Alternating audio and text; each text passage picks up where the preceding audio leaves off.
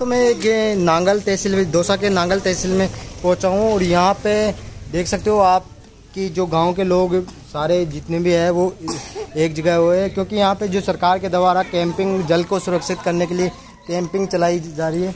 यहाँ दो युवा साथी है जो ये पूरा कवर कर रहे हैं, लोगों को जागरूक कर रहे हैं कि कैसे जो बरसात का पानी कैसे सुरक्षित करें अपन, क्योंकि गाँव गाँव में मैं काफ़ी आप देख पा रहे हो, दोसा के अंदर घूम रहा हूँ। करीबन मेरे को 10 से 15 दिन हो गए। यहाँ देख रहा हूँ हर गाँव में पानी की बहुत ही समस्या है।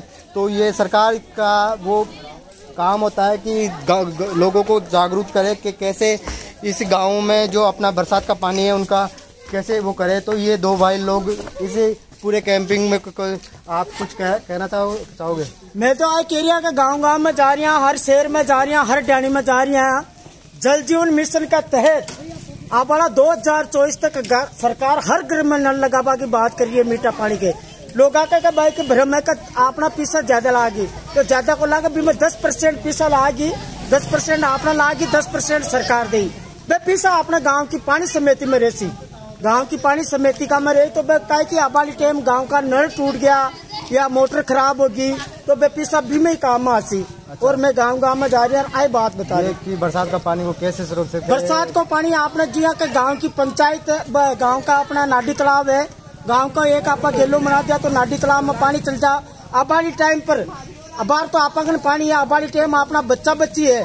जी हाँ अबार आपा तो अपनी ज़िंदगी काट दी अबारी टाइम में अपना बच्चा बच्ची ने कांटा पानी मिले नहीं मिले। तो बेटा अपना बरसाती पानी को नीचे तक ढेर ज़मीन तक पानी जोड़ो रहे। तो भी मैं आपने बिल्कुल पानी की टूट को ना अबारी दो। आपसे बहुत मिलके बहुत अच्छा लगा। और एक बार में इन ग्रामीणों से भी जान सकते हैं इन भाई लोगों ने इतनी मेहनत की तो इनके भी कुछ समझ में आया क्या बताया? आप एक बार बताइए क्या क्या समझा रहे थे? ये समझा रहे थे कि थोड़ा लाउडली बोलोगे? पानी बचाओ। कैसे भी करके पानी बचाओ। भी करके पानी बचाओ। कि अभी तो अपन अपना जीवन व्यापन करने कर लेंगे लेकिन आने वाली पीढ़ी किस तरह व्यापन करेगी? तो किस जो भी बरसात का पानी होता है किस तरह स्टोर स्टोर करे कि अपने जो नाले कुएँ उनमें जो गाँव की तलाई उनमें इस पानी को भेजे। यही समझा रहे थे ना? जितना भी पानी एकत्रित होता है वो पानी एक जगह जाए और जहाँ तक पहली बार तो पानी व्यर्थ ही ना हो। अगर पानी व्यर्थ नहीं होगा तो पानी की कमी नहीं आएगी। तो ये कौन सा गाँव है? बासना गाँव है। तो कौन सी तहसील कौन सी आती है? आपास पंचायत है आपास पंचायत है दौसा जिला है नांगल तहसील है. हाँ, नांगल तहसील नांगल तहसील है. तो दोस्तों ये जो देखा आप मेरे साथ चल रहे हो अभी जो अलुदा गाँव है उस पर चल रहे हो। और मैं बीच में यहाँ पे करीबन पाँच मिनट का स्टॉप लिया था। और फिर अलुदा जो गाँव है वो भी मैं दिखाऊँगा। तो चलते हैं यहाँ से। दोस्तों मैंने इस जगह पाँच मिनट का ब्रेक लिया और मैंने जो दो युवा साथी थे वो समझा रहे थे गाँव और लोगों की किस तरह जल को सुरक्षित करना है। क्योंकि जल है तो आगे जीवन है। तो मैं भी आप सभी दोस्तों से रिक्वेस्ट करता हूँ कि जितना भी हो सके उतना जल को बचाओ। और मैं अब आपको जो आलूदा की पावड़ी है और आलूदा का खाद्य आश्रम है, वो दिखाऊँगा आगे चल के। तो आज संडे का दिन है, मैं उम्मीद करता हूँ कि आज खुला रहना चाहिए, लेकिन जो आलूदा की बावड़ी है, वो तो ज़रूर दिखाऊँगा। तो कंटिन्यू इस वीडियो पर बने रहे दोस्तों। और जो मेरे लास्ट वाली वीडियो कैसा लगा आपको को कमेंट करके बताना। तो चलते हैं आगे, और देखते हैं, अलुदा की बावड़ी।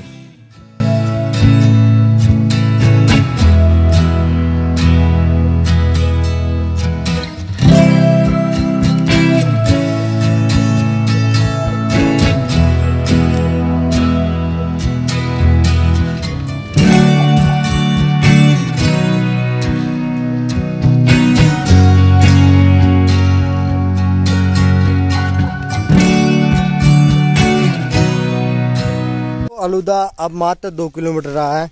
आपको बता देता हूँ कि बरसात आने लग गई थी, इस वजह से मैं यहाँ पे ये दुकानें हैं, वहीं पे कुछ देर देर के लिए रुका। और फिर आलूदा में चल के मैं जो वहाँ का खादी वो खादी स्टोर है, वो भी मैं दिखाऊँगा। अब वो खुला है या नहीं खुला, आज संडे है, इस वजह से बंद भी मिल सकता है। और आपका अलौदा की जो बावड़ी है तो वो तो दिखाने वाला हूँ।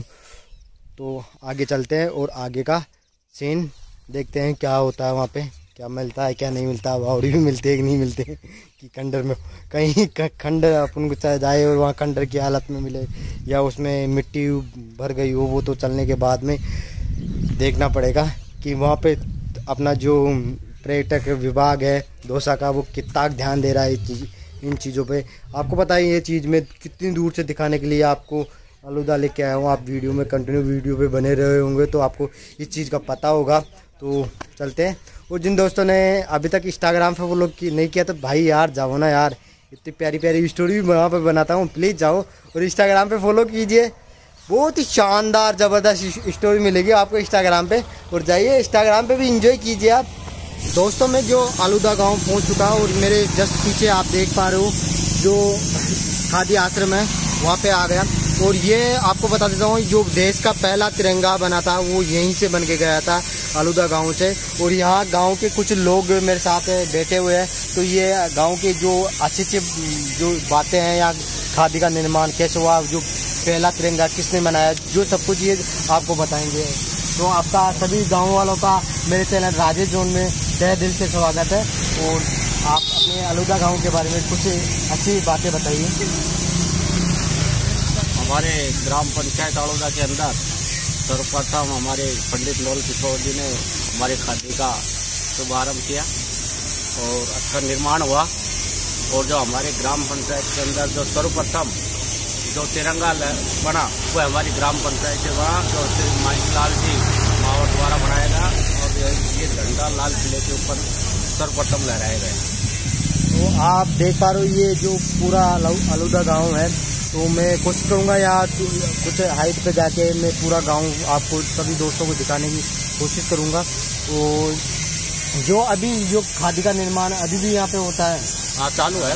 चालू है बस्तर है बस्तर है यहाँ पर बनाया जाता है वगैरह दरी फरिया काफ़ी कारीगर लगे हुए बनकर बने हुए हैं। अच्छा जो बनाते हैं अभी भी बनाते बना तो ऐसा नहीं है कि रंगाई भी होती है। ऐसा नहीं है कि पहले का काम खादी का काम होता था। आज भी यहाँ पे अच्छे अच्छे खादी के जो बस्तर बनते हैं दरी बनती है जो आज भी बनते हैं यहाँ का जो खादी का केंद्र है खादी आश्रम है वो भी दिखाता हूँ। यही जो खादी आश्रम है ये मेरे पीछे देख पा रहे हो। ये अलूदा गाँव में खादी आश्रम यही वो खादी आश्रम है। आप देख सकते हो। दोस्तों, में जो आलूदा का जो बावड़ी है, इसको लोग यहाँ का आलूदा का कुबानिया भी बोलते हैं, और मैं इस जगह पे हूँ प्रजेंट टाइम में आप मेरे पीछे देख पा रहे हो, यही आलूदा की बावड़ी है, और इसकी कंडीशन तो करीबन करीबन बहुत सारा इसमें कचरा भरा हुआ है, और पानी भी नहीं है, इस वजह से काफ़ी लोग इसे ध्यान नहीं देते बहुत ही प्यारी जगह है, मैं यहाँ के गाँव वालों से रिक्वेस्ट करता हूँ कि गाँव के कोई युवा साथी देख रहा हो इसको। तो इसकी भी सफ़ाई कीजिए। बहुत ही प्यारी जगह है आपके गाँव में। ऐसी बहुत ही अद्भुत जगह है। इसको आप संभाल के रखोगे तो आने वाली जो पीढ़ियाँ है, वो इसको भी याद रखेगी। नहीं तो ये धीरे धीरे लुप्त हो जाएगी। जैसे आप नीचे देख पा रहे हो, पूरा मिट्टी से भर चुका है। तो इसका पुनः जीव, जीवन उद्धार उद्धार कीजिए। और जो यहाँ बैठ के लोग गुटखा तम्बाकू यहाँ के जो दुकानों से कचरा ला के डाल रहे हैं, जैसे आप मेरे पीछे देख पा रहे हो, ये ऐसे कचरा। वो प्लीज़ डालिए नहीं। और वैसे तो बहुत ही प्यारी जगह है। आप एक, यहाँ का एक सैनमिट शॉट इन्जॉय कीजिए।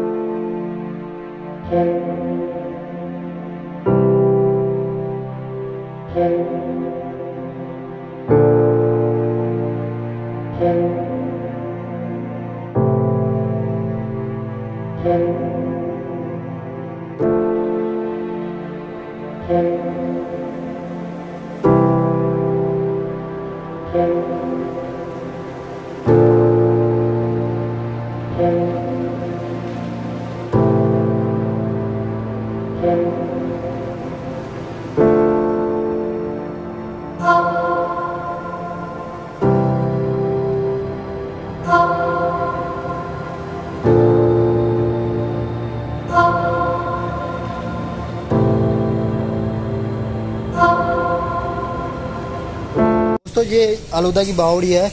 उसके लास्ट वाले हिस्से पे लेके चल रहा हूँ, उस जगह पे। और वहाँ से मैं भी आपका बता देता हूँ इसकी जो कंडीशन है, वो किस तरह से है। तो दोस्तों, बहुत ही इसमें गंदगी नहीं होती, इसकी साफ़ सुथराई बहुत अच्छी तरह होती है तो बहुत ही शानदार नज़ारा होता है यहाँ का।